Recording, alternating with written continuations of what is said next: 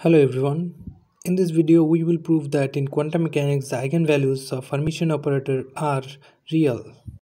First of all let's define what is Hermitian operator in quantum mechanics.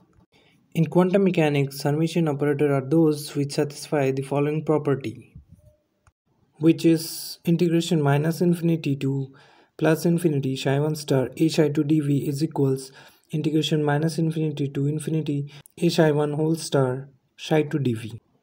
Alternatively, we can write it as minus infinity to infinity psi star psi dv equals integration minus infinity to infinity psi whole star psi dv. Now what we have to prove is the eigenvalues of Hermitian operator are real.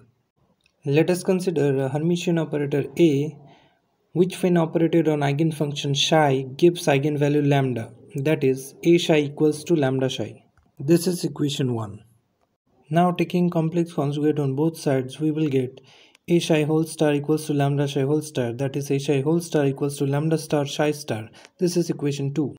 Now let's write the definition of Hermitian operator and put the value of a psi equals to lambda psi and a psi whole star equals to lambda star psi star. Then in the next step we will get lambda minus lambda star into integration minus infinity to infinity psi star psi dv equals to 0. From here we can say that the integration part cannot be 0 so lambda minus lambda star must be 0. Therefore lambda minus lambda star equals to 0 which is lambda equals to lambda star. So the eigenvalues of a Hermitian operator are real. Proved.